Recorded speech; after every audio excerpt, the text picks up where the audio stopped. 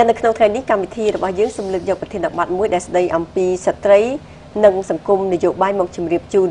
ដោយកម្មវិធីយើងបានអញ្ជើញលោកស្រីសុមាលីម៉មលោកស្រីគឺជាអគ្គនាយិកានៃអង្គការ AFISIP ហើយក៏ជាអគ្គនាយិកានៃមូលនិធិសុមាលីម៉មផងដែរជំរាបសួរលោកស្រីសុខសប្បាយទេចាសុខសប្បាយមែនទេបងនេះខ្ញុំសូមជម្រាបថាលោកស្រីសុមាលីម៉មមានបទពិសោធន៍ការងារខាងផ្នែកស្ត្រីនិងសង្គមរយៈពេល18ឆ្នាំ ចាហើយនៅពេលនេះនេះខ្ញុំសូមអញ្ជើញលោកស្រីនិងទូតទស្សនិកជនតាមដានទស្សនានៅការបញ្ចេញយោបល់របស់សាធារណជនតាក់ទងនឹងប្រធានបទរបស់យើងសូមអញ្ជើញមានតែបរោះខ្វះស្ត្រី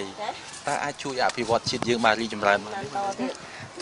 គិតថាអត់បានទេព្រោះខែជាត្រូវតែមានបរិសុទ្ធនិងស្ត្រីទាំងអស់គ្នាចា៎មានស្ត្រីប្រមាណភាគរយហើយដែលបងអូនសង្កេតឃើញតាំងពីថ្នាក់ក្រោមភូមិឃុំរហូតទៅដល់ថ្នាក់លើបំផុតណា ខ្ញុំគិតថាមានស្ត្រីប្រហែលជាយ៉ាងតិចបំផុតក៏50%ដែរដែលធ្វើការតាមភូមិគឺឃុំអីគួរតែធ្វើយ៉ាងម៉េចឲ្យស្ត្រីយើងគាត់មានឱកាសបានចូលរួមក្នុងការបម្រើសង្គមយើងឲ្យបានកាន់តែច្រើនទៀតទៅចាឲ្យឲ្យស្ត្រីរៀនឲ្យបានច្រើនកុំអ្នកខ្លះប្រកាន់ថាឲ្យកូនប្រុសរៀនឲ្យបានច្រើនតែកូនស្រីឲ្យរៀនតិចអីប្រុសកូនស្រីបង្វិលចក្រានជុំអត់មានទេគឺកូនប្រុសកូនស្រីរៀនឲ្យបានដូចគ្នាពេលនេះទំនៀមទម្លាប់របស់ខ្មែរយើងអាចជាឧបសគ្គធ្វើឲ្យស្ត្រី មិនបានចូលរួមក្នុងការប្រឡូកនៅក្នុងនយោបាយក៏ក្នុងការដឹកនាំប្រទេសដែរឬក៏អត់ទេបើតាមការមើលឃើញដូចខ្ញុំមានអាយុច្រើនអញ្ចឹងហើយខ្ញុំគិតថាពីមុនពី10ឆ្នាំមុនអញ្ចឹងណាបង គឺអាកតាហ្នឹងគឺប៉ះពាល់ខ្លាំងប៉ុន្តែរហូតពី10ឆ្នាំក្រោយមក គឺយើងមិនមានកតាអីប៉ះពាល់ទេគឺនឹងចាចឹងនៅក្នុងការបញ្ចេញមតិយោបល់អំបញ្ញមិញនេះយើងឃើញថាប្រជាជនយើងមួយរូបបាន លើកឡើងថាបរោះធ្វើការងារមិនអាចធ្វើការងារអត់ស្ត្រីបានទេតើលោកស្រីយល់ឃើញយ៉ាងណាដែរចានេះពិតប្រាកដហើយថាបរោះមិនអាចធ្វើធ្វើអ្វីដែលមិនអត់មានស្ត្រីចូលរួមបានទេព្រោះយើងគិតថាស្ត្រីនិងបរោះត្រូវមានពីរទាំងសងខាងបើមិនយើងប្រៀបធៀបវិញស្ត្រីនិងបរោះដូចជាយើងប្រៀបធៀបដូចជាចាបវិញណា ស្ត្រីគឺជាតួខ្លួនមួយហើយបរោះគឺជាស្លាប់របស់គាត់អញ្ចឹងថាពីរហ្នឹងត្រូវពឹងផ្អែកទៅលើគ្នាទៅវិញទៅមកអញ្ចឹងបានថាក្នុងសង្គមមួយមួយគឺត្រូវតែមានបរោះត្រូវតែមានស្ត្រីចូលរួមទាំងពីរចាហើយជាបន្តទៀតនេះសូមអញ្ជើញលោកស្រីនិងទូតទស្សនិកជនតាមដានទស្សនានៅបទយការបស់យើងដែលតកតងទៅនឹងស្ត្រីនិងសង្គមសូមអញ្ជើញ សម្ដេចអគ្គមហាសេនាបតីតេជោហ៊ុនសែននាយករដ្ឋមន្ត្រីនៃប្រទេសកម្ពុជា បានថ្លែងក្នុងសន្និសីទជាច្រើនដែលបានបញ្ជាក់ថាស្ត្រីបានដើរតួនាទីយ៉ាងសំខាន់ក្នុងការចូលរួមចំណែកការអភិវឌ្ឍសង្គមជាតិសេដ្ឋកិច្ចនិងនយោបាយក្រៅពីកិច្ចការផ្ទះស្ត្រីមួយចំនួនក៏អាចចូលរួមក្នុងការងារសង្គមផងដែរតែទោះបីការងារទាំងនោះស្ត្រីអាចរែកពុនបានយ៉ាងណាក៏នៅតែមានការលំបាកជាងបុរសដោយសារស្ត្រីមានកាតព្វកិច្ចត្រូវមើលថែកូនចៅផ្ទះសម្បែងជាដើម។ ចង់រៀនឲ្យបានចប់ដែរតែគ្រាន់ថាវាដូចខ្វះថវិកាអីចឹងទៅក៏ឲ្យកូនឈប់ទៅ យើងមិនអាចទៅនោះបានយើងនៅនេះព្រោះកូនយើងរវល់សិក្សាទាំងអស់កូននៅទូចទូចយើងទៅនោះអត់មានណាធ្វើណែវល់ដូចថាការងារលំបាកក្នុងផ្ទះអញ្ចឹងអ្នកនៅផ្ទះវាតែងលំបាកកប៉ិកកប៉ុកអញ្ចឹងណាមិនដែលបានសម្រាប់ព្រោះអ៊ំមាននៅតែឯងប្តីធ្វើការកូនធ្វើការយើងតែឯងហ្នឹងយើងទៅណារួចបើទៅនោះមានអត់លក់ណែ ទី1ស្ត្រី មានទទួលបន្ទុកច្រើននៅក្នុងគ្រួសារហើយស្ត្រីកម្ពុជាយើងនេះ80%ក៏ជាអ្នករកស៊ីចិញ្ចឹមគ្រួសារផងដែរដូច្នេះបើគាត់ជាអ្នករកស៊ីចេញចេញរកស៊ីចិញ្ចឹមគ្រួសារផងហើយគាត់ជាអ្នកធ្វើការងារមានបន្ទុកក្នុងការធ្វើការងារផ្ទះនិងការចិញ្ចឹមបីបាច់កូនផងការទៀមទីឲ្យគាត់ចេញធ្វើការជាឆាកនយោបាយវាជារឿងមួយលំបាកមិនមែនគាត់អត់សមត្ថភាពទេក៏ប៉ុន្តែ ឱកាសរបស់គាត់មានកម្រិតដោយសារសង្គមជាតិរបស់យើងពុំបានផ្ដល់ឱកាសនេះឲ្យអឺអានេះជាកម្រិតបញ្ហាទី1បញ្ហាទី2ដល់តែធ្វើអញ្ចឹងយូរយូរទៅស្ត្រីយើងពុំសូវមានទំនុកទុកចិត្តថាតួនាទីរបស់គាត់มันមានតួនាទីมันមានគំរូជាឋានៈនយោបាយធ្វើធ្វើការងារក្រៅផ្ទះពុំបានច្រើន បាននិយាយពីស្ត្រីដឹកនាំប្រទេសគេតែងរំលឹកដល់អតីតកាលដែលដើមឡើយប្រទេសកម្ពុជាមានអ្នកដឹកនាំជាស្ត្រីដ៏ខ្លាំងមួយរូបដែលគេបានស្គាល់យ៉ាងច្បាស់នៅព្រះនាមគឺព្រះនាងសោមានៅក្នុងដំណើររឿងព្រេងជាច្រើនរបស់ប្រទេសកម្ពុជាដែលផ្សារភ្ជាប់ជាមួយប្រពៃណីនោះមានដូចជារឿងព្រះថោងនាងនាគនិងរឿងភ្នំប្រុសភ្នំស្រីជាដើមដែលសុទ្ធតែបង្ហាញពីអំណាចរបស់ស្ត្រីនិងការលើកដំកើងស្ត្រីជាធំប៉ុន្តែនោះគឺជារឿងដែលបានកន្លងហួសទៅហើយដោយសារតែហេតុនេះទើបមន្ត្រីត្រីជំនាញមួយចំនួនបានលើកឡើងថា ការធ្វើការប្រៀបធៀបទៅនឹងអតីតកាលនោះវាជារឿងដែលពិបាកធ្វើទៅបាន។ទន្ទឹមនឹងនោះប្រពៃណីខ្មែរក៏ជាបញ្ហាប្រឈមផងដែរដោយមានអ្នកវិភាគខ្លះបែរជាមើលឃើញចំណុចអវិជ្ជមានខ្លះដែលតាក់ទងទៅនឹងប្រពៃណីខ្មែរថា ជាដើមហេតុនាំឲ្យបង្អាក់ស្ត្រីក្នុងការចូលរួមក្នុងឆាកនយោបាយនៅក្នុងអនុសាសន៍របស់អង្គការសហប្រជាជាតិនឹងគេបាននិយាយពីច្បាប់ស្រីហ្នឹងច្បាប់ស្រីហ្នឹងធ្វើឲ្យមានប៉ះពាល់ ព្រោះក្នុងច្បាប់ស្រីហ្នឹងដាក់ថាម្ដាយបដៅទៅកូនស្រីណាថាបើបើកូនមានប្តីហ្នឹងគឺកូនត្រូវតែខ្លាចប្តីហ្នឹងកុំទុកប្តីស្មើជាមួយកូនអាហ្នឹងវាខុសពីស៊ីដហ្នឹងណាស៊ីដថា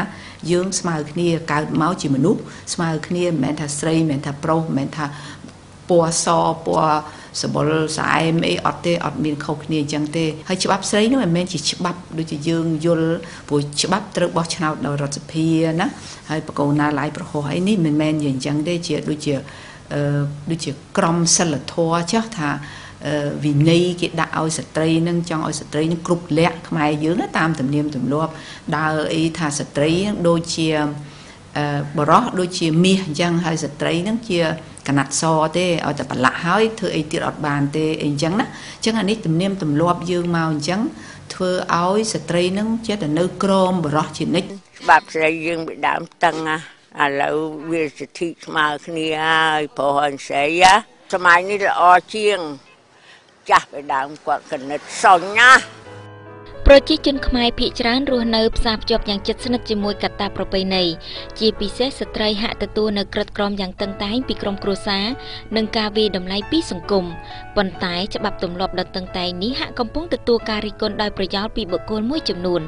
តើយុវវ័យសម័យនេះយល់ឃើញយ៉ាងណាដែរ ការពិតការចូលរួមនៅក្នុងឆាកនយោបាយមិនមែនជាអ្វីដែលខុសទេហើយអ្វីដែលច្បាប់ស្រីបានលើកឡើងហ្នឹងគ្រាន់តែចង់អប់រំស្ត្រីនៅក្នុងកលៈទេសៈពេលនោះឲ្យគាត់បានយល់ដឹងនៅការការងារកតបកិច្ចរបស់គាត់ថាគាត់ត្រូវធ្វើការងារផ្ទះប៉ុន្តែឥឡូវហ្នឹងគឺសតវត្សទី21អញ្ចឹងយើងត្រូវបែងចែកឲ្យច្បាស់ថាតើការលើកមុន គាត់យ៉ាងម៉េចហើយឥឡូវហ្នឹងគាត់យ៉ាងម៉េចគឺជាកតាបកិច្ចដែលផ្សេងគ្នាបរោះនិងស្ត្រីមានសិទ្ធិស្មើគ្នាមានឋានៈទូនាទីស្មើគ្នាអាស្រ័យទៅលើសមត្ថភាពរបស់គាត់ដូច្នេះមិនចាំបាច់តែរៀបការឲ្យគាត់នៅផ្ទះទេដូច្នេះគាត់អាចនៅផ្ទះមែនក៏ប៉ុន្តែគាត់ក៏អាចឆ្លៀតពេលវេលាមួយចំណែកដើម្បីចូលរួមការងារសង្គមគាត់មិនចាំតែនៅផ្ទះធ្វើបាយម្ហូបដល់ប្តីបម្រើស្វាមីទេតែផ្ទុយទៅវិញប្រសិនបើគាត់ចូលរួមមួយផ្នែកហើយគាត់ចូលរួមមួយផ្នែកទៀតទើបធ្វើឲ្យគាត់ជីវិតរបស់គាត់មានភាពប្រសើរឡើងពីលំដាប់ទៅលំដាប់ពីមួយថ្ងៃទៅមួយថ្ងៃ យន់ម៉ាណេគឺជាជនជាតិដើមភាគតិចភ្នងដែលមានដើមកំណើតនៅខេត្តមណ្ឌលគិរីតាមការបញ្ជាក់របស់ម៉ាណេថាស្ត្រីជនជាតិភ្នងភាគច្រើនតែងសម្រេចចិត្តឈប់រៀនដោយសារពួកគេត្រូវរៀបការ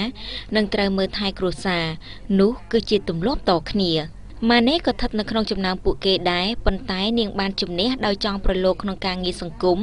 ទើបនាងបានធ្វើការងារមួយចំនួនដែលជួយដល់ស្ត្រីក្នុងតំបន់ដែលនាងរស់នៅ។ ខ្ញុំឃើញថាឥឡូវហ្នឹងគោលការណ៍របស់រាជរដ្ឋាភិបាលបានផ្ដល់ឱកាសហើយហើយឲ្យទៅស្ត្រីចាអឺអញ្ចឹងអ្វីដែលដែលខ្ញុំគិតថាដែលជារឿងចម្បងណាតែការផ្ដល់ឱកាសហ្នឹងគឺយើងត្រូវធ្វើម៉េចយើងមានការចុះទៅអប់រំគាត់បន្ថែមទៀតនេះជាសំណពរព្រោះ អឺពេលខ្លះអឺ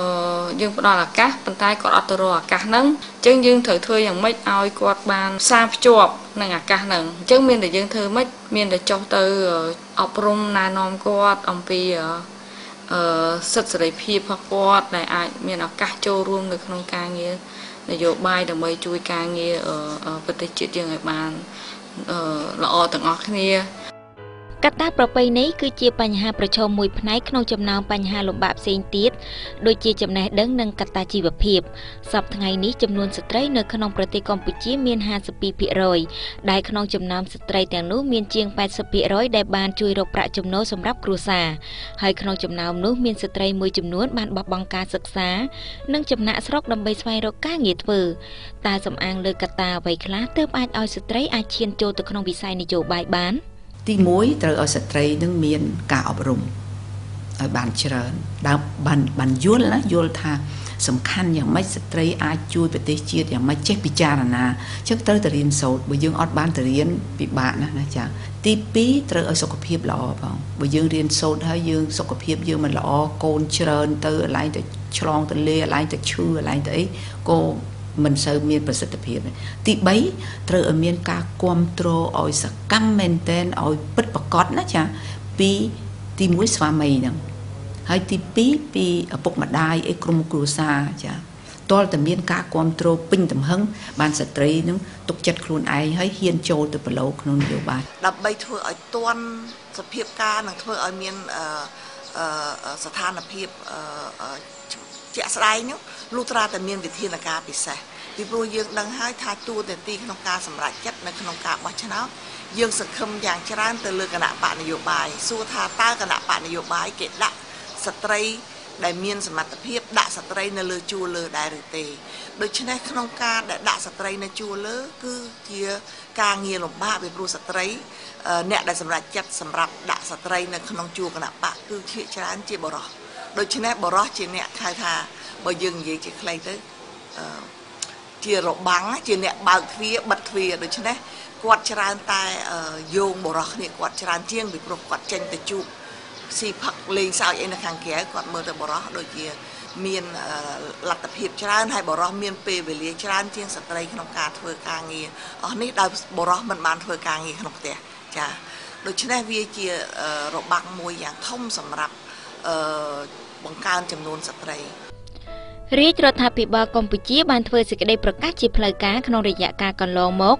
ដោយចង់បង្កើនចំនួនស្ត្រីនៅក្នុងវិស័យនយោបាយទោះបីជាយ៉ាងណាក៏ដោយការសម្រេចបានសមធម៌ gender ក្នុងតំណែងខ្ពស់ខ្ពស់ដូចជាចៅក្រមព្រះរាជអាជ្ញាអភិបាលខេត្តនឹងអាចសម្រេចបាន នៅពេលដែលថ្នាក់ដឹកនាំជាន់ខ្ពស់ផ្ដោតការយកចិត្តទុកដាក់លើការតែងតាំងស្ត្រីឲ្យបានច្រើនសម្រាប់ចូលកាន់តំណែងទាំងនោះ។ សប្តាហ៍ថ្ងៃនេះយើងឃើញថាមានមតិមួយចំនួនហាក់ដូចជាបន្ទោសទៅលើប្រពៃណីខ្មែរយើង ថាដោយសារតែប្រពៃណីនេះហើយដែលធ្វើឲ្យបរោះដែលធ្វើឲ្យស្ត្រីយើងនឹងមិនមានមុខស្មើនឹងបរោះតើលោកស្រីយល់ឃើញយ៉ាងណាដែរចំពោះការបន្ទោសនេះចាតាមពិតទៅបើសិនជាយើងមើលទៅក្រោយវិញទៅក្រោយ20ឆ្នាំមុន30ឆ្នាំមុន10ឆ្នាំមុនយើងឃើញថាតាមពិតប្រពៃនេះខ្មែរគេថាមិនឲ្យកូនស្រីទៅសាលាព្រោះខ្លាចសរសេរតបុតស្នេហាមិនឲ្យមនុស្សស្រីចេះព្រោះយើងគិតថានៅក្នុងផ្នត់កណិតរបស់យើង យើងគិតថាមនុស្សស្រីគាត់ថាប្រវល់ចង្ក្រានឲ្យទៅជុំទៅបានហើយចេះតែមហូបធ្វើមហូបឲ្យឆ្ងាញ់ទៅគឺប្តីស្រឡាញ់ហើយនិយាយរួមថាប្រពៃនេះយើងធ្វើឲ្យមនុស្សស្រីនោះគេថាអត់មានឱកាសបាត់ឱកាសហើយអានឹងវា20ឆ្នាំ30ឆ្នាំមុនហើយយើងនៅតែយកមកទៀតចាឥឡូវហ្នឹងកាតព្វកិច្ចមនុស្សស្រីឥឡូវយើងត្រូវតែជំរុញកុមារីនិងស្ត្រីឲ្យដើរតួដូចថាក្នុងឆាកនយោបាយឬក៏ថ្នាក់ដឹកនាំឲ្យមួយអញ្ចឹង យើងមនុស្សស្រីខ្លួនឯងក៏ត្រូវតែជំរុញខ្លួនឯងដែរចាបើសិនជាយើងប្រៀបធៀបពីកម្លាំងបាយវិញគឺស្ត្រីយើងមិនឈ្នះទេចាបើប្រៀបធៀបជាមួយនឹងបរិសតែបើសិនជាយើងប្រៀបធៀបកម្លាំងប្រាជ្ញា គឺយើងអត់ចាញ់ទេ ក៏ប៉ុន្តែទោះបីជាយ៉ាងណាក៏ដោយក៏យើងឃើញថាស្ត្រីរហូតមកដល់ពេលនេះស្ត្រីទៅនៅតែមានការចូលរួមនៅក្នុងឆាកនយោបាយឬក៏នៅក្នុងសង្គមនៅតែមានតិចជាងបរិសបើទោះបីជារាជរដ្ឋាភិបាលយើងបានអនុវត្តគោលនយោបាយ gender ក៏ដោយតែកត្តាអ្វីខ្លះដែលធ្វើឲ្យយើងមានឱកាសតិចតួចបែបនេះការអប់រំយើងត្រូវការជំរុញមនុស្សស្រីឲ្យបានច្រើនទី1ទី2ការលើកទឹកចិត្តពីក្រុមពីក្រុមគ្រួសារយើងឃើញថានៅក្នុងគ្រួសារមួយមានក្មេងប្រុសនិងក្មេងស្រីគឺថាមនុស្សប្រុសក៏មានឱកាសចេញទៅខាងក្រៅព្រោះថានៅតាមខេត្តវិញ បញ្ជូនមកភ្នំពេញបញ្ជូនតែមនុស្សប្រុសឯងអត់បានបញ្ជូនមនុស្សស្រីទេឥឡូវមានដែរមិនតែមានតិចទី1ទី2គ្រួសារទី3សង្គមសង្គមគឺថាសំខាន់បំផុតហើយសង្គមខ្ញុំផ្ដោតទៅលើមនុស្សស្រីពេលខ្លះថាមនុស្សស្រីគ្នាឯងហ្នឹងគាត់មិនបានលើកទឹកចិត្តស្រីខ្លួនឯងនឹងឲ្យឡើងឯងគាត់ភិចិនថាខ្ញុំមានអារម្មណ៍ថាគាត់ខ្លាចថាគាត់មកជំនួសកន្លែងឯងមិនដឹងណាប៉ុន្តែខ្ញុំគិតថាអ្វីដែលពួកឬថាអ្វីដែលអ៊ំស្រីនឹងមីងឬថាគាត់គិតនឹងគឺខុសហើយប៉ុន្តែព្រោះធម្មតាបើសិនជា យើងលើកកម្ពស់មនុស្សស្រីម្នាក់ក្មេងស្រីម្នាក់បានធ្វើការមួយដែលធំមួយយើងគួរតែមានមោទនភាពបើណាថាយើងជាមនុស្សល្អម្នាក់ដែលយើងតែយើងឃើញថាអ្វីដែលយើងដាំដុះមកបានល្អហើយនៅក្នុងនឹងដែរខ្ញុំឃើញថាការលើកទឹកចិត្តពីបរោះមកលើស្ត្រីថាមិនទាន់មានថាមានដែរប៉ុន្តែនៅតិចមែនតែនឲ្យមនុស្សប្រុសឃើញថាយើងមានអីគេថាចំណេះដឹងនៅក្នុងការដឹកនាំយើងមានចំណេះដឹងក្នុងការធ្វើអ្វីមួយអញ្ចឹងមនុស្សស្រីត្រូវត្រូវចេះអត់ធ្មត់ហើយយើងលុបបំបត្តិពាក្យថា ខ្ញុំត្រូវទៅទៅផ្ទះវិញទៅតែមើលកូនទៅតែមើលកូនយើងត្រូវតែមើលប៉ុន្តែចង់ឲ្យមនុស្សស្រីទាំងអស់គ្នាលុបបំបត្តិថាកតបកិច្ចរបស់ខ្ញុំគឺត្រូវទៅផ្ទះវិញមើលកូនពុកប្តីខ្ញុំក៏ត្រូវទៅក្រៅនេះខ້ອຍមនុស្សស្រីគួរតែយកឱកាសនឹងឯងចា៎ចាបើយើងគិតពីកត្តាជីវភាពវិញយើងឃើញថាសប្តាហ៍នេះប្រជាពលរដ្ឋខ្មែរយើងភាគច្រើនកម្រិតជីវភាពជីវភាពរស់នៅគឺនៅមានកម្រិតនៅឡើយដូច្នេះបើសិនជាយើងឲ្យស្ត្រីមកចេញធ្វើការនៅខាងក្រៅស្មើនឹងបុរស យើងឃើញថាស្ត្រីហាក់ដូចជាមានបន្ទុកទ្វេដង គឺទី1ធ្វើការងារនៅក្រៅផង ហើយទី2គឺធ្វើការងារនៅផ្ទះគឺមើលទុកដាក់ក្រុមគ្រួសារកូនចៅផងហហើយបើសិនបើជាកិច្ចការផ្ទះនេះបរោះជួយក៏ដោយក៏យើងមើលឃើញថាស្ត្រីនៅតែមានការលំបាកជាងតែលោកស្រីយល់ស្របដែរទេខ្ញុំយល់ស្របជាមួយអ្នកបងថាមនុស្សស្រីយើងយើងចេះថាទៅដល់ណាក៏ដោយទៅធ្វើការក៏ដោយយើងមកដល់ផ្ទះសំបីតែមនុស្សប្រុសនោះគាត់ជួយលើកចានលើកឆ្នាំងគុំមនុស្សស្រីទៅទៅដាំបាយទៅអប់រំកូន ព្រោះនេះជាផ្នត់គំនិតតាំងពីប្រពៃណីយើងមកបងគឺវាអញ្ចឹងហើយបើសិនជាយើងចង់លុបបំបត្តិយើងប្រើរយៈពេលយូរណាបងពីអញ្ចឹងមកថាប្រើរយៈពេលយូរក្នុងការធ្វើម៉េចឲ្យខ្លួនឯងមនុស្សស្រីហ្នឹងត្រូវការដឹងដែរថាកតបកិច្ចខ្លួនឯងធម្មតាយើងត្រូវការចេះអប់រំបរោះធ្វើម៉េចឲ្យបានជួយហើយនៅក្នុងក្នុងដែរខ្ញុំថាមនុស្សស្រីបើសិនជាមនុស្សស្រីនឹងចេះរៀបចំដោយថាពិសេសគាត់ថាចេះរៀបចំនឹងបែងចែកពេលវេលាការងារនឹងផ្ទះឲ្យបានល្អខ្ញុំគិតថាពីងធូរស្រាល ធូរស្រាលច្រើនព្រោះពេលខ្លះមនុស្សស្រីយល់ថាពេលខ្លះយើងស្មុកក្នុងក្នុងការងារមកដល់ផ្ទះយើងស្មុកទៀតថាមានកូនមានអីឬថាយ៉ាញ៉េញ៉ៃយើងអត់យើងអត់បានបែងចែកឲ្យច្បាស់លាស់ហើយយើងនឹងសាកល្បងទាំងអស់គ្នាថាតើមនុស្សស្រីយើងគួរតែប្រើវិធីណាដើម្បីឲ្យមានការលើកទឹកចិត្តពីស្វាមីនិងថាប្រើស្វាមីយើងឲ្យចេះជួយធ្វើការងារផ្ទះខ្ញុំចង់បានឲ្យប្តីខ្ញុំចេះជួយខ្ញុំអញ្ចឹងខ្ញុំរកវិធីមួយដើម្បីអប់រំគាត់ឲ្យគាត់ហ្នឹងថាមិនអប់រំទេថាវិធីមួយដើម្បីថា ធ្វើម៉េចឲ្យគាត់ភាសាអង់គ្លេសគេថា get involved ធ្វើម៉េចទាញទឹកចិត្តគាត់ឲ្យគាត់មកជួយយើងនេះបានប៉ុន្តែលោកណាដែលមនុស្សស្រីនឹងឯងគាត់ដឹងថាតើគាត់ចង់បានអ្វីនៅក្នុងជីវិតរបស់គាត់ជាបន្តទៀតនេះសូមជិះលោកស្រីនឹងទឹកទស្សនិកជនតាមដានទស្សនបទយកការរបស់យើងជាបន្តទៀតដែលតកតងស្ត្រីនិងឆាកនយោបាយសូមជិះ ដើម្បីឲ្យស្ត្រីអាចចូលរួមក្នុងវិស័យនយោបាយនិងការលើកកម្ពស់ gender មានការលើកហេតុផលថាត្រូវផ្ដល់ឱកាសឲ្យស្ត្រី តែការផ្ដល់ឱកាសគឺជាកត្តាមួយផ្នែកក្នុងការជំរុញស្ត្រីក្នុងការងារសង្គមប៉ុណ្ណោះអ្វីដែលសំខាន់ទៀតនោះគឺសំអាងលើសមត្ថភាពនិងចំណេះដឹងផ្ទាល់ប៉ុន្តែមានមតិលើកឡើងទៀតថាស្ត្រីអាចចូលរួមក្នុងវិស័យនយោបាយបាន គឺយោងទៅលើគណៈបកនយោបាយទៅវិញក្នុងការធ្វើនយោបាយមានអ្នកចេះច្រើននិងអ្នកចេះតិច មិនបាច់ថាខ្ពស់ពេកទេចាបើសិនជាស្ត្រីនឹងជឿលើសមត្ថភាពខ្លួនឯងមានឆន្ទៈធំជាងគេគឺស្អីក៏យើងធ្វើកើតដែរឲ្យតែយើងមានឆន្ទៈតែបើយើងរៀនដល់ថ្នាក់ធំមានសញ្ញាបត្រជាបណ្ឌិតជាអ្វីក៏ដោយហើយយើងអត់មានឆន្ទៈចង់ធ្វើនយោបាយក៏អត់មានក៏អត់មានន័យដែរអញ្ចឹងទេរៀនចេះតែល្មមប៉ុន្តែគេហៅថាវាគ្មិនបកកែនិយាយបកកែបញ្យលពីគោលការណ៍របស់គណៈបកពីគោលនយោបាយរបស់គណៈបក គណៈបកគេទទួលហើយខ្ញុំសូមបញ្ជាក់ជាថ្មីម្ដងទៀតយើងជាស្ត្រីទោះបីជានៅបកណាក៏ដោយ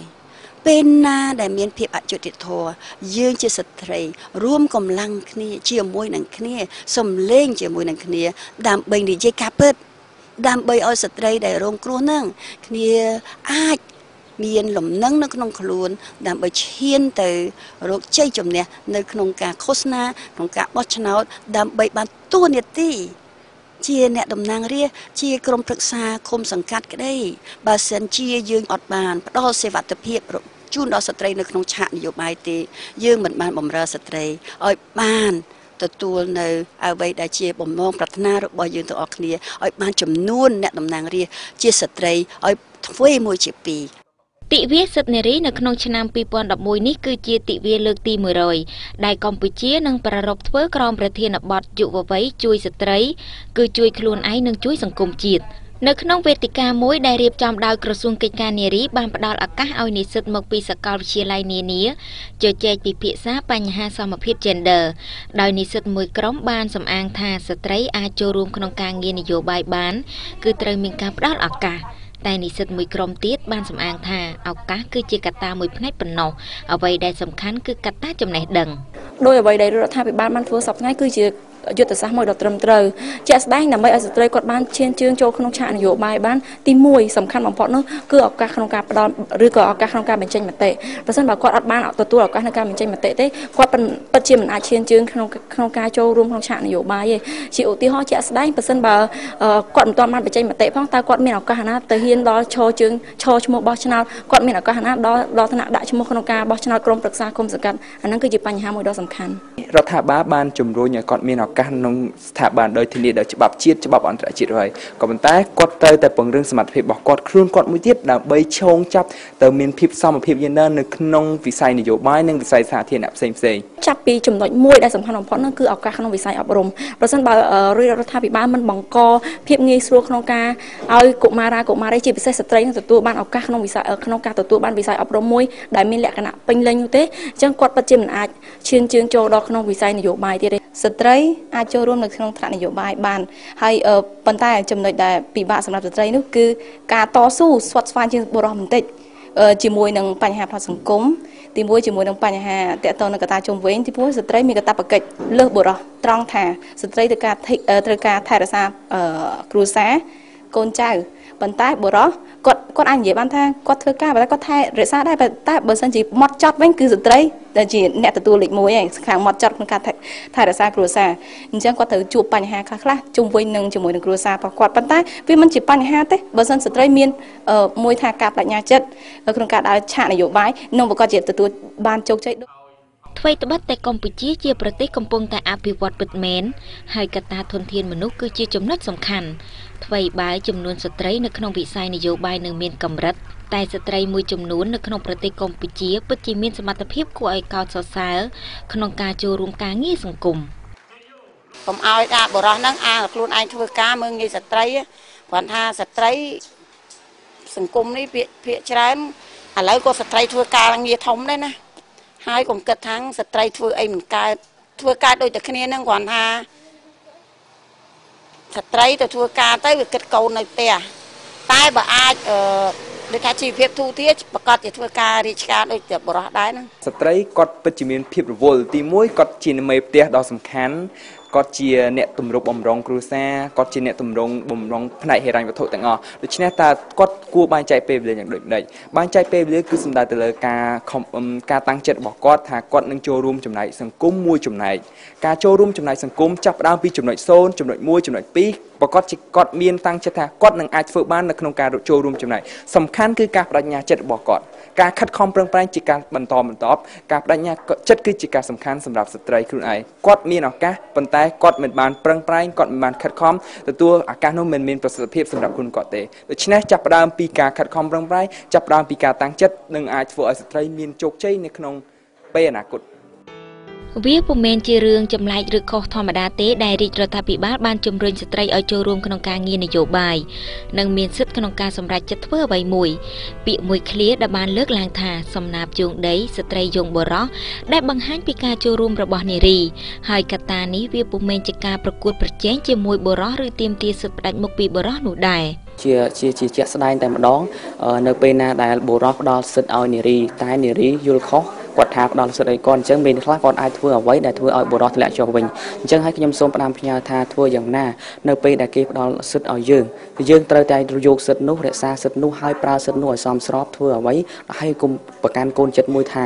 នេះគឺជាសិទ្ធិរបស់យើងហើយហើយយើងនឹងធ្វើបាបបុរសវិញអញ្ចឹងមិនមែននេះទេយើងនៅពេលដែលគេឲ្យរបស់អ្វីដល់យើងយើងត្រូវដឹងថាតើគោលបំណងរបស់គេគឺអ្វីគោលបំណងរបស់បុរសដែលផ្ដល់សិទ្ធិឲ្យនារីគឺដើម្បីឲ្យស្មើគ្នាមិនមែនដើម្បីឲ្យលើសគេនោះទេស្ត្រីអ្នកណាគេក៏មានតម្លៃដូចគ្នាដែរប៉ុន្តែនាងខ្ញុំចង់ឲ្យគាត់លើកកម្ពស់បន្ថែមនាងខ្ញុំចង់ឲ្យគាត់ឲ្យតម្លៃស្ត្រីដូចគ្នាទោះវាមានសមភាពនៅក្នុងសង្គមហើយវាមានភាពរីចម្រើនទាំងអស់គ្នាផងជាឧទាហរណ៍យ៉ាងខ្លីថានៅក្នុងគ្រួសារមួយចំនួនដែលខ្ញុំបានលើកឈ្មោះនៅពេលដែលបរិះថាឥឡូវស្រេចតែម៉ែវាឯងទៅអញ្ចឹងនៅពេលហ្នឹងនៅពេលហ្នឹងស្ត្រីគាត់ចាប់ផ្ដើមសម្រេចសម្រេចនៅពេលណាដែលគាត់ថាសម្រេចសម្រេចបានម្ដងទៅពីរដងអញ្ចឹងនៅពេលក្រោយគាត់ថា ការងារមួយចំនួនគាត់ថាមិនបាច់សួរឲ្យវានោះទេគឺស្រេចតកតហើយអញ្ចឹងនៅពេលនេះគឺអសមភាពទៅវិញហើយដែលជាបុរសខ្លួនឯងផ្ទាល់គឺត្រូវធ្លាក់ចុះដូចជានារីលើកមុនអញ្ចឹងអញ្ចឹងហើយបានរដ្ឋាភិបាលគួរតែបន្តជំរុញព័ត៌មានឲ្យកាន់តែច្បាស់ហើយឲ្យកាន់តែឆាប់រហ័សដើម្បីឲ្យស្ត្រីនៅតាមភូមិឃុំឬក៏តាមកន្លែងស្នាក់នៅមូលដ្ឋានរបស់គាត់ហ្នឹងគាត់ទទួលបានព័ត៌មានច្បាស់លាស់ហើយរដ្ឋាភិបាលហ្នឹងគួរបន្តផ្ដល់ឲ្យអ្នកអ្នកដែលមានបទពិសោធន៍ហ្នឹងផ្លាស់ប្ដូរនៅបទពិសោធន៍ដល់ស្ត្រីថែមទៀតអញ្ចឹងការពង្រឹងតាមរយៈចំណុចទាំងអស់ហ្នឹងតាំងពីចំណេះដឹងតាមរយៈការផ្ដល់នៅព័ត៌មានច្បាស់លាស់និងជំរុញតាមរយៈផ្ដល់អ្នកដែលមានបទពិសោធន៍ខ្ពស់នោះទើបធ្វើឲ្យស្ត្រីអាចឈានជើងចូលដល់ឆាកនយោបាយបានហើយសំខាន់បំផុតនោះគឺភាពក្លាហានរបស់ស្ត្រីផ្ទាល់ រាជរដ្ឋាភិបាលក៏បានបង្កើនចំនួនស្ត្រីមានតួនាទីជាអ្នកដឹកនាំនិងសម្រេចចិត្តឲ្យស្របតាមគោលដៅសហជីពកម្ពុជា ដែលមានផែនការបង្កើនក្រុមប្រឹក្សាគុំជាស្ត្រីពីចំនួនបច្ចុប្បន្ន15%ទៅ25%នៅឆ្នាំ2015សមាជិកសភាពី19%ទៅ30%ចំនួនរដ្ឋមន្ត្រីស្ត្រីពី7.7%ទៅ12%និងចំនួនអភិបាលនៃគណៈអភិបាលខេត្តពី0%ទៅ10%នៅឆ្នាំ2015 2015ខាងមុខចារហូតមកដល់ពេលនេះតើលោកស្រីមានរបាយការណ៍ដែរទេថាតើធនធានមនុស្សជាស្ត្រីនិងបុរសនោះតើមានភាគរយខុសគ្នាដូចម្ដេចទៅចាចំពោះភាគរយភាគរយនៃនេះយើងអត់បានទទួលច្បាស់លាស់ទេបងអត់បានទទួលប៉ុន្តែបើសិនយើងមើលជាក់ស្ដែងវិញពុះពេលខ្លះភាគរយអត់អាចស្មើគ្នាបានអត់អាចត្រូវគ្នាបានទេប៉ុន្តែយើងកលេចទៅមើលថាជាក់ស្ដែងជាក់ស្ដែងដូចយើងបានលើកពីដើមមកអញ្ចឹងគឺថា យើងឃើញថាពីមុនមកអើយនៅក្នុងឆាកនយោបាយគឺថាមិនសូវមានទេអើយស្ត្រីនៅក្នុងឆាកនយោបាយភាគច្រើនច្រើនតែបរោះសម្បីតែរដ្ឋមន្ត្រីក្រសួងកិច្ចការនារីពីមុនមកក៏ជាបរោះដែរប៉ុន្តែយើងមើលមកឥឡូវវិញឥឡូវនៅក្នុងឆាកនយោបាយយើងឃើញថាចាប់ផ្ដើមមាននារី ប៉ុន្តែមិនទាន់បានច្រើនមិនទាន់បានអ្វីដែលយើងចង់បានទេប៉ុន្តែចាប់ផ្ដើមមានហើយចាចានៅក្នុងឆាកនយោបាយនេះដែរបើសិនបើយើងកលេចមើលសប្តាហ៍ថ្ងៃនេះយើងឃើញថាមន្ត្រីដែលប្រឡូកក្នុងឆាកនយោបាយហាក់ដូចជាចូលដល់វ័យកណ្ដាលហើយហើយមន្ត្រីខ្លះក៏ជិតចូលនិវត្តន៍ដែរហើយបើយើងកលេចមើលពីការបណ្ដោះបណ្ដាលវិញយើងឃើញថាក្នុងសម័យកាលឥឡូវនេះយើងក៏បានបណ្ដោះបណ្ដាលយុវជនក្មេងៗបានច្រើនដែរតាក់ទងទៅនឹងតាក់ទងទៅនឹងធនធានមនុស្សនេះដូច្នេះ តើលោកស្រីយល់ឃើញថាវាដល់ពេលដែលយើងគួរតែជំរុញឲ្យបានខ្លាំងក្លាឲ្យយុវជនក្មេងៗជាពិសេសយុវនារីយើងឲ្យចូលប្រឡូកក្នុងឆាកនយោបាយឲ្យបានកាន់តែច្រើនហើយទៅនេះចាខ្ញុំគិតថាបើថាដល់ពេលហ្នឹងវាដល់ពេលយូរហើយយើងគួរតែចាប់ផ្ដើមដោយថាឥឡូវយើងឃើញថានៅក្នុងឆាកនយោបាយគឺថាស្ត្រីភិកច្រើនថាវ័យកណ្ដាលច្រើនចាខ្សែជាងទៅមានច្រើនអញ្ចឹងថាប៉ុន្តែបើសិនយើងគិតថានៅពីក្រោយវិញជាលេខា ជាជំនួយការយើងឃើញថាមានស្ត្រីវ័យក្មេងច្រើនអញ្ចឹងជាឱកាសមួយដែលថាយើងចាប់ផ្ដើមប្រោលឱកាសឲ្យគាត់ឲ្យគាត់រៀនបទពិសោធន៍ថាគាត់មានចំណេះដឹងហើយនៅក្នុងការចូលប្រឡូកនៅក្នុងឆាកនយោបាយឬក៏ក្នុងជាអ្នកដឹកនាំក្នុងនាមជាអ្នកដឹកនាំប៉ុន្តែបទពិសោធន៍អញ្ចឹងក្នុងនាមយើងទាំងអស់គ្នាណាមិនថាខ្ញុំមិនថាអ្នកបងមិនថាលោកជំទាវមិនថាអ្នកមីងទេថាយើងចាប់ផ្ដើមលើកទឹកចិត្តពួកគាត់ធ្វើម៉េចផ្ដល់ឱកាសពួកគាត់ថាបើកផ្លូវឲ្យពួកគាត់ និងជំរុញនឹងលើកទឹកចិត្តប្រកួតឲ្យចូលក្នុងឆាកនយោបាយយើងគួរតែចាប់ផ្ដើមហើយចា៎ចា៎ដូច្នេះដើម្បីឲ្យស្ត្រីចូលរួមទាំងក្នុងឆាកនយោបាយទាំងសង្គមឲ្យបានច្រើនតើយើងគួរតែមានគោលការណ៍ជាសកម្មភាពយ៉ាងដូចម្ដេចខ្លះដើម្បីជួយដល់ពួកគេចាបើសិនតាមខ្ញុំវិញខ្ញុំថាទី1យើងត្រូវតែលុបបំបាត់អាផ្នែកកំណត់មួយគេថាស្ត្រីវិលចង្ក្រានមិនជុំលុបបំបាត់ឲ្យក្នុងនាមក្នុងតួនាទីជាម្ដាយនិងជាឪពុកគេថាស្ត្រីសំខាន់ណាស់ក្នុងការអប់រំកូនប៉ុន្តែឪពុកក៏សំខាន់ដែរក្នុងការលើកទឹកចិត្តកូនស្រី ឲ្យថាកូននឹងចាប់ផ្ដើមតាំងពីទូចមកចូលសាលាគឺចាប់ផ្ដើមអប់រំអំពីការលើកទឹកចិត្តអំពីការចូលដូចថាមានដូចថាមានមតិមានយោបល់និយាយរួមចូលរួមចូលរួមនៅក្នុងគ្រប់កន្លែងគឺថាសំបីឡើងជ្រៀងតិចតួចក៏ឡើងមានរង្វាន់មានស្អីស្អីគឺថាយើងគួរតែលើកទឹកចិត្តកូនស្រីហ្នឹងឲ្យឡើងកុំឲ្យគាត់អៀនឬក៏ខ្មាស់ឬក៏អីថាអៀនអៀនបានប៉ុន្តែត្រូវតែលើកទឹកចិត្តគាត់ឲ្យឡើងទៅអញ្ចឹងយើងចាប់ផ្ដើមពីសាលាទៅអញ្ចឹង នៅក្នុងសាលានោះសំខាន់អញ្ចឹងសង្ឃឹមថាលោកគ្រូអ្នកគ្រូគេថាគាត់មានគម្រាមសិស្សតាំងពីទូចហ្នឹងគាត់ថាលើកគាត់ក៏មាន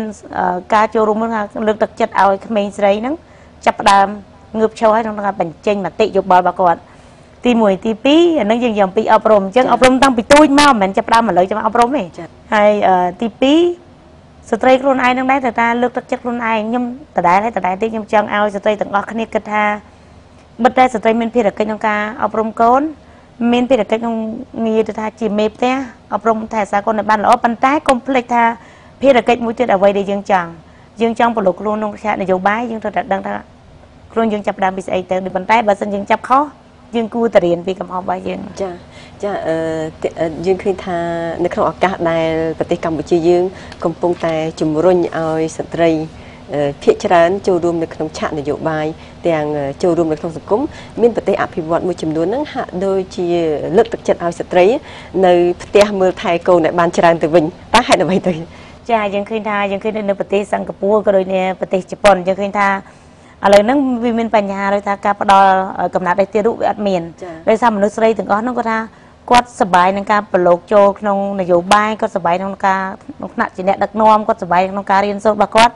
អញ្ចឹងគាត់ភ្លេចភារៈមួយគឺការបង្កើតកូនចា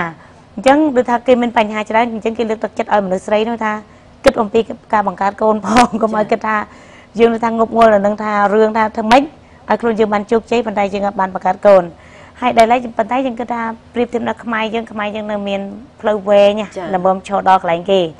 អញ្ចឹងអ្វីដែលយើងគួរតែធ្វើឥឡូវហ្នឹងទាំងនយោបាយទាំងឆាកនយោបាយទាំងសង្គមស៊ីវិលទាំងកន្លែងផ្សេងផ្សេងយើងគួរតែលើកទឹកចិត្ត កុមារីហើយមានវ័យកដាក់មានវ័យមួយទៀតជំទង់ណានារីនារីនារីហើយស្ត្រីគឺគួរតែលើកទឹកចិត្តគាត់ពីឥឡូវហ្នឹងទៅដើម្បីផ្ដល់ឱកាសគាត់នៅក្នុងការនៅក្នុងការចូលធ្វើឆាននយោបាយឬក៏ថ្នាក់ដឹកនាំអីមួយចាសុទ្ធតែអំណរគុណចំពោះភាសាបកស្រាយក្រោមភូមិគុំរហូតទៅដល់ថ្នាក់លើបំផុតហ្នឹង ខ្ញុំគិតថាមានស្ត្រីប្រហែលជាយ៉ាងតិចបំផុតក៏50%ដែរដែលធ្វើការតាមភូមិគឺឃុំអីគួរតែធ្វើយ៉ាងម៉េចឲ្យស្ត្រីយើងគាត់មានឱកាសបានចូលរួមក្នុងការបម្រើសង្គមយើងឲ្យបានកាន់តែច្រើនទៀតទៅចាឲ្យឲ្យស្ត្រីរៀនឲ្យបានច្រើនកុំអ្នកខ្លះប្រកាន់ថាឲ្យកូនប្រុសរៀនឲ្យបានច្រើនតែកូនស្រីឲ្យរៀនតិចអីប្រុសកូនស្រីបង្វិលចក្រានជុំអត់មានទេគឺកូនប្រុសកូនស្រីរៀនឲ្យបានដូចគ្នាពេលនេះទំនៀមទម្លាប់របស់ខ្មែរយើងអាចជាឧបសគ្គធ្វើឲ្យស្ត្រី មិនបានចូលរួមក្នុងការប្រឡូកនៅក្នុងនយោបាយក៏ក្នុងការដឹកនាំប្រទេសដែរឬក៏អត់ទេបើតាមការមើលឃើញដូចខ្ញុំមានអាយុច្រើនអញ្ចឹងហើយខ្ញុំគិតថា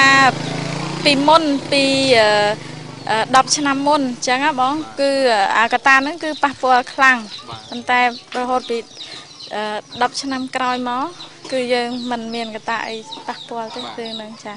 ចឹងនៅក្នុងការបញ្ចេញមតិយោបល់លំបាញ់មិញនេះយើងឃើញថាប្រជាជនយើងមួយរូបបានលើកឡើងថាបរោះធ្វើការងារមិនអាចធ្វើការងារអត់ស្ត្រីបានទេតើលោកស្រីយល់ឃើញយ៉ាងណាដែរចានេះពិតប្រាកដហើយថាបរោះមិនអាចធ្វើធ្វើអ្វីដែលអត់មានស្ត្រីចូលរួមបានទេព្រោះយើងគិតថាស្ត្រីនិងបរោះត្រូវមានពីរទាំងសងខាងបើសិនយើងប្រៀបធៀបវិញស្ត្រីនិងបរោះដូចជាយើងប្រៀបធៀបដូចជាចាបវិញណា ស្ត្រីគឺជាតួខ្លួនមួយហើយបរោះគឺជាស្លាប់របស់គាត់អញ្ចឹងថាពីរហ្នឹងត្រូវពឹងផ្អែកទៅលើគ្នាទៅវិញទៅមកអញ្ចឹងបានថាក្នុងសង្គមមួយមួយគឺត្រូវតែមានបរោះត្រូវតែមានស្ត្រីចូលរួមទាំងពីរចាស់ហើយជាបន្តទៀតនេះសូមអញ្ជើញលោកស្រីនិងទូទេសនិកជនតាមដានទស្សនានៅបញ្ញការរបស់យើងទៅនោះអត់មានណាធ្វើណែវល់ដូចថាការងារលំបាកក្នុងផ្ទះអញ្ចឹងអ្នកនៅផ្ទះវាតែលំបាកកប៉ិកកប៉ុកអញ្ចឹងណាមិនដែលបានសម្រាប់ព្រោះអ៊ំមាននៅតែឯងប្តីធ្វើការកូនធ្វើការ យើងតែឯងហ្នឹងយើងទៅណារួចបើទៅនោះមានអត់លក់ណែទី1ស្ត្រីមានទទួលបន្ទុកច្រើននៅក្នុងគ្រួសារហើយស្ត្រីកម្ពុជាយើងនេះ80%ក៏ជាអ្នករកស៊ីចិញ្ចឹមគ្រួសារផងដែរដូច្នេះបើគាត់ជាអ្នករកស៊ីចេញចេញរកស៊ីចិញ្ចឹមគ្រួសារផងហើយគាត់ជាអ្នកធ្វើការងារមានបន្ទុកក្នុងការធ្វើការងារផ្ទះនិងការចិញ្ចឹមបីបាច់កូនផង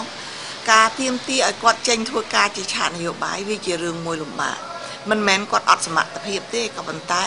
ឱកាសរបស់គាត់មានកម្រិតដោយសារសង្គមជាតិរបស់យើងពុំបានផ្ដល់ឱកាសនេះយើងតែតកតងទៅនឹង